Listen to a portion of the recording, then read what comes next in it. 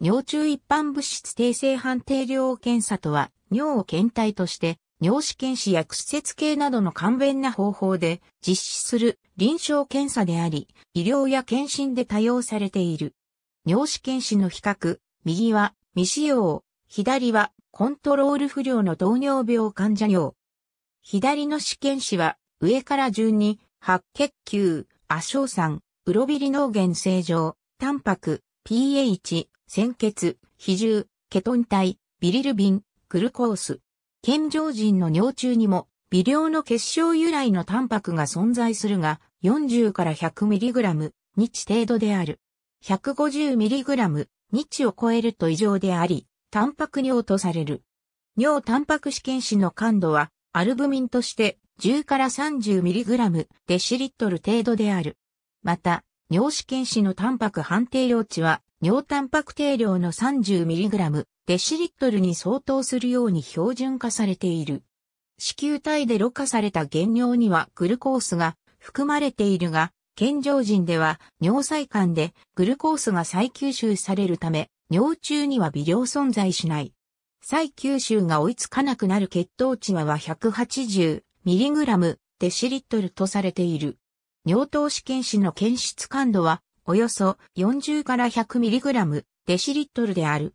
また、尿試験紙の糖判定量値は、尿糖定量の 100mg デシリットルに相当するように標準化されている。尿中のヘモグロビンのペルオキシダーゼ作用を利用して検出する検査である。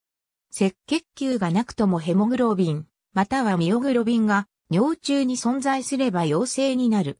尿鮮血試験紙の感度はヘモグロビンとして0.015から0.03ミリグラムデシリットル、赤血球として5から15個、ミューエル程度である。ミオグロビンに対しても、ほぼ同等の感度である。尿試験紙の鮮血判定量値に相当するのは、ヘモグロビンの濃度 0.06mg デシリットル、赤血球にして約20個、ミューエルに標準化されている。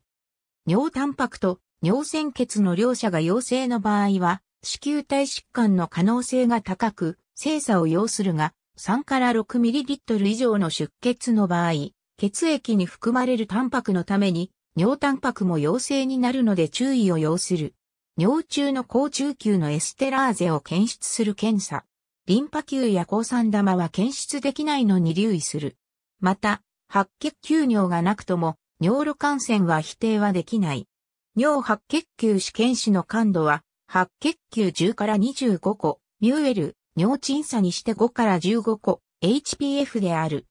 本来、尿にはビリルビンは含まれないが、血中のビリルビン直接ビリルビンは高値となると一部が尿に排泄されるは子宮体規定膜を超えず、尿中に排泄されない。尿ビリルビン試験紙の感度は0.4から1ミリグラムデシリットルである。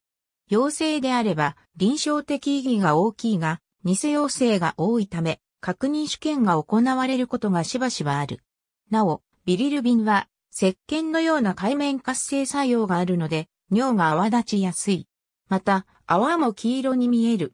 また、ビリルビン陽性時は、審査で、ビリルビンにより障害されて剥離した尿細管上皮細胞及び上皮円柱が多数出現する。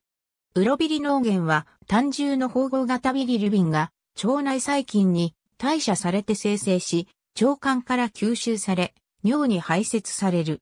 閉塞性横断では、ウロビリ脳源排泄は低下、その他の横断では上昇する。疾患のスクリーニングの手段としては、感度が低すぎるため、現在は意義が低いと考えられる。尿ウロビリ脳源試験紙の検出感度は0.1から 1mg デシリットル程度であるが、陰性の判定はできない。尿 pH は食事に大きく左右されるが、通常は pH6.0 程度の酸性である。食物に含まれる硝酸塩が尿に排泄され、硝酸還元能を持つ尿路の細菌により、亜硝酸に還元されることを利用した反応である。尿路感染症のスクリーニングに用いられ、尿白血球陰性かつ尿亜硝酸塩陰性なら、細菌尿の可能性は低いと考えられる。尿亜硝酸塩試験紙の検出感度は亜硝酸ナトリウムとして0.03から 0.15mg L である。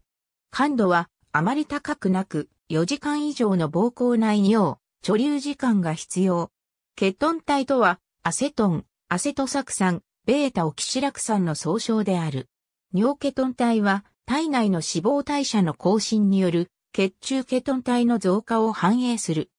尿糖と尿ケトン体が共に強陽性となる場合は稀ではあるが、激症型1型糖尿病や糖尿病ケトアシドーシスのような重篤な病態を疑う必要がある。尿ケトン体試験紙の感度は、アセトン 50mg デシリットル、アセトサク酸5から 10mg デシリットルである。ベータヒドロキシラク酸とは反応しない。尿比重は尿に溶解している固形成分の量を反映する。健常人は主にナトリウムと尿素による屈折系で測定されることが多いが、尿糖、尿タンパクが大量に含まれる場合は、補正が必要である。随時尿の比重は1.010から1.030の間であることが多いが、水摂取状態によりこの範囲を超えて変動する。水分制限で尿比重が1.025を超えれば、腎臓の濃縮能は維持されていると考えられる。腎不全が進むと、腎の濃縮、希釈能力が低下するため、血液と頭頂の1.010前後になっていく。なお、尿比重の下2桁を0.03で除すると、およその浸透圧が得られる。尿は、通常は、ウロクローム等の色素により、麦わら色ないし炭鉱褐色を呈する。尿を放置すると脳褐色に変化するのは、ウロビリ脳源が酸化され赤活色のウロビリン体となるためである。その他の尿中色素としては、ウロエリトリンが挙げられる。尿中の色素排泄量はほぼ一定であり、色の濃さは尿の希釈、濃縮、すなわち尿比重と並行する。尿は通常透明であるが、健常人の尿でも混濁が認められる場合がある。ユーロナリススは、定性反定量検査以外に尿鎮差も含む。尿は通常は透明であるが、健常人でもリン酸塩や尿酸塩による混濁が見られることがある。健常人の尿に見られるタンパクの内訳は、アルブミン40%、イグ5から10%、免疫グロブリン計差5%、イガ3%程度である。尿中カテコラミン測定のため蓄尿する場合は、薬剤を入れて酸性を維持する。この尿で他の検査をすべきではない。妊婦の約80%で尿糖排泄の増加が見られ、グルコースろ過量の増大及び尿剤関東再吸収能の低下のためである。妊婦では尿糖 300mg 日までは正常と考えてよい。分娩1週間後には陰性化する。ABCD ビタミン C はペットボトル飲料にも大量に添加されているので、偽陰性の原因となる。赤血球が糸球体由来か否かは尿鎮差で赤血球の形態から推測することができる。原因不明の顕微鏡的血尿は、加齢とともに増加し女性に多い。ある食品に含まれる酸性無機イオンとアルカリ性イオンの濃度を等量で比較した場合、前者の和の方が多い食品を酸性食品、後者の和の方が多い食品をアルカリ性食品という。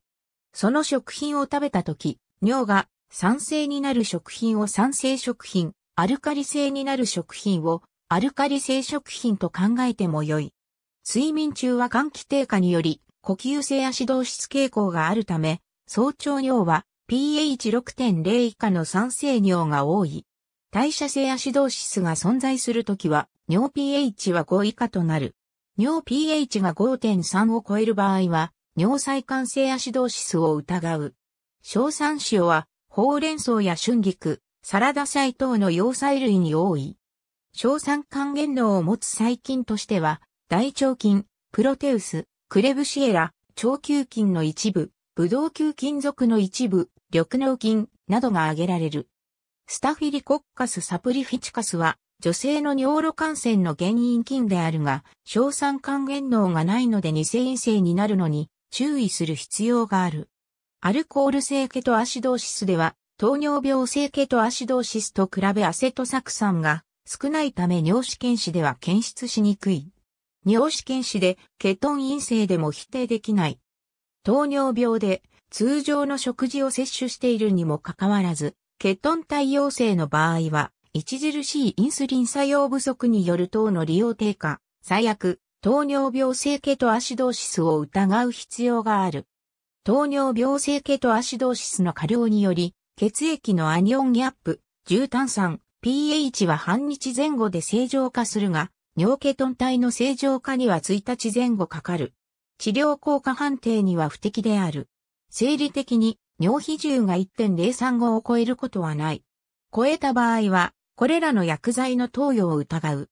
尿酸塩が沈殿して、レンガ色を呈するのは、ウロエリトリンのためである。肉眼的血尿で、煙状に霞んで見えるものを、スモーキー、ウリネと呼び、急性子宮体腎炎の特徴とされている。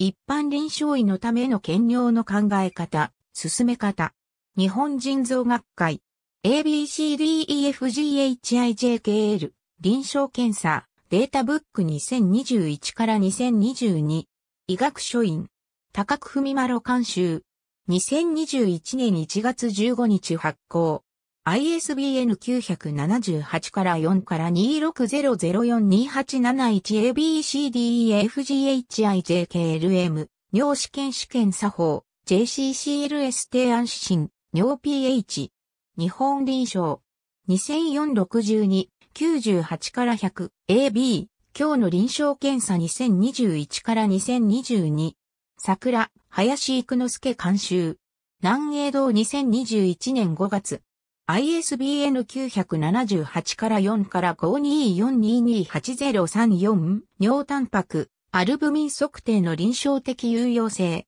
坂爪実。生物資料分析